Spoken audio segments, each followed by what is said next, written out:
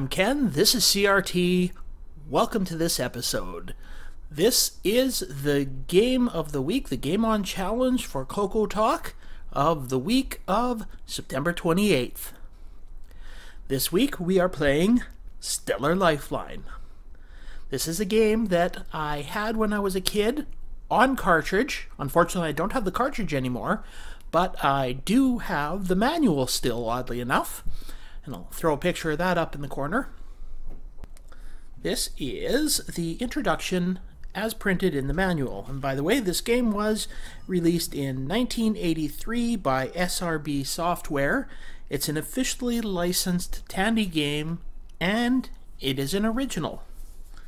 So, in this TRS 80 color computer game, you are the commander of a fleet of spaceships. Your mission is to clear a path among the stars so that your fleet can leave Starbase Alpha and safely reach Starbase Beta. As you blast off from Starbase Alpha, it is apparent that the task will not be easy. Asteroids, magnetic mines, and alien attack ships both block the path and threaten to destroy you. Asteroids and alien ships might also sneak up from behind and attempt to destroy you, so beware. You must use your wits and all of your ships at your command to complete the journey successfully.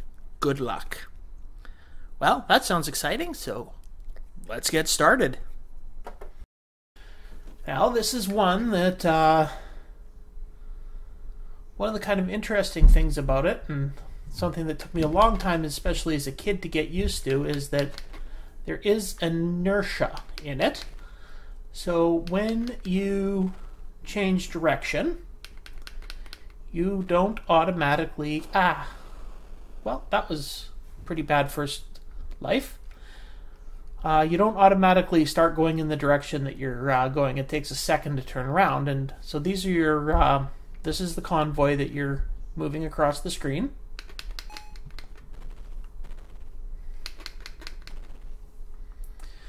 First level here only has asteroids.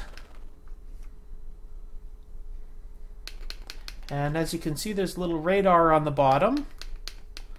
So you can keep track of what's sneaking up behind you, what's in front of you, and I'm about to, ah, darn it. And the little white dots in the middle of your convoy are fuel cells, so you got to keep an eye on your fuel. When it starts getting low, you have to uh, refuel.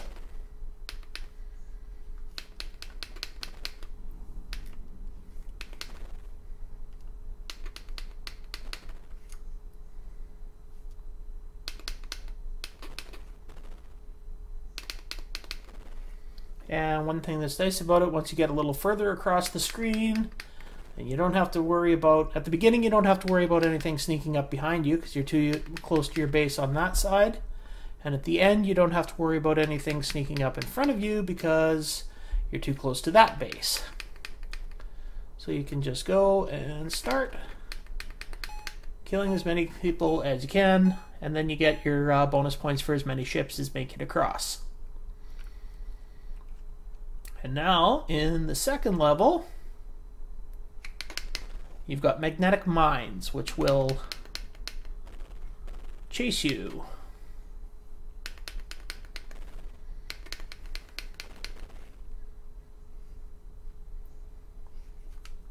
Ah, darn it. Well, this is uh, turning into a really bad game. And I'm done. Ooh, that was awful. So let's try that again. See if I can get a little further. Like at least to the uh, third level.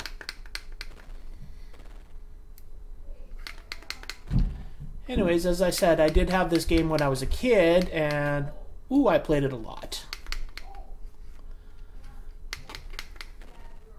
And if you can hear people yelling in the background, that's because my cats are being bad upstairs and people are yelling at them.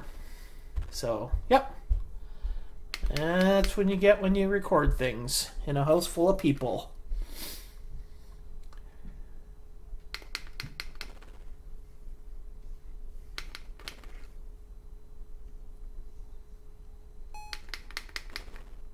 There you see I picked up a, one of the fuel there. Uh-oh.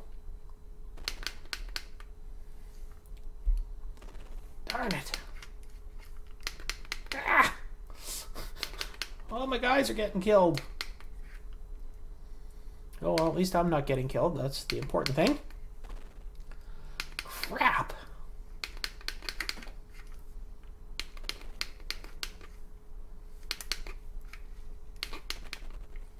Ah.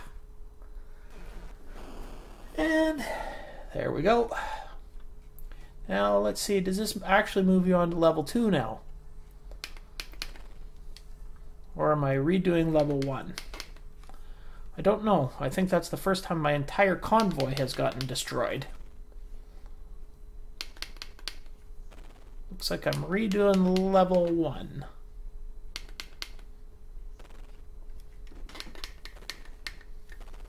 And by the way, I am playing on the uh, Black Beauty for this. You can play on keyboard if you want. There is uh, keyboard controls.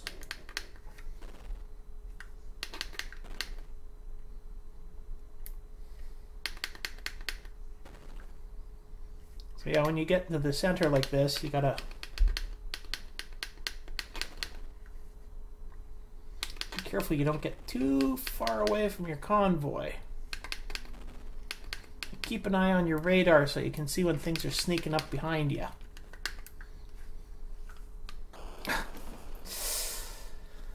Okay, normally I play this game a lot better than this.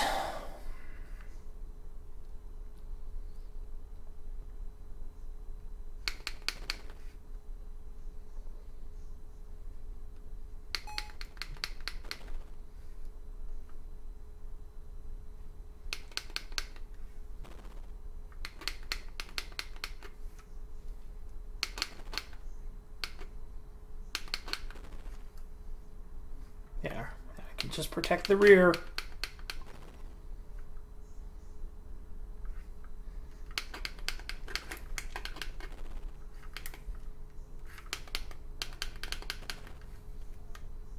There we go. And there's as far as they go.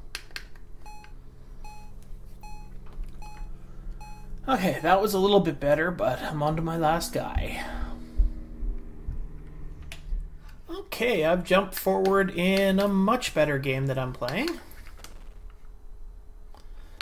Just to show that I do actually know how to play this game, sort of.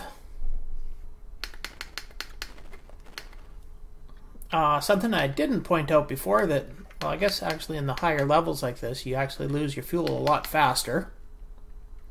But something else I didn't point out is if you time things right, you can make the mines or the uh, ah, ah, man, he shot one of my guys. Uh, you can make the mines or the uh, UFOs hit the asteroids and they both get destroyed.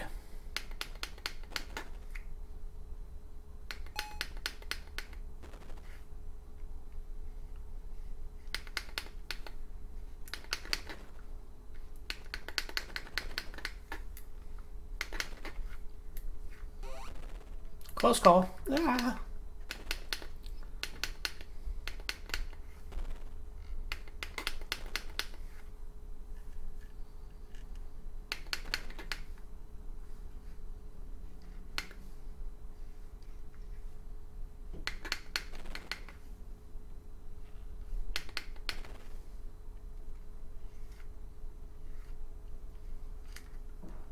Mm, darn it.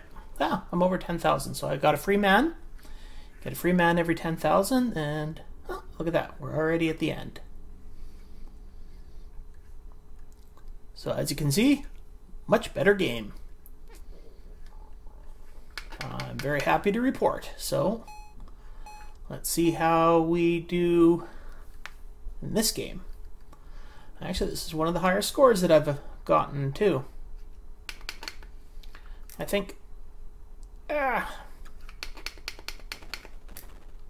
There we go. The, the mine hit the asteroid, so...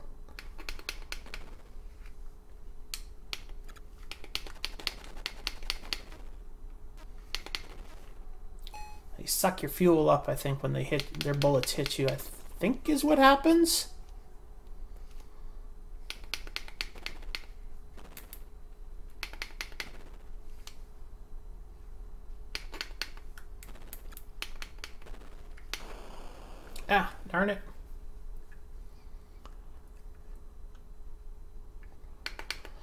Last guy. And there's my game.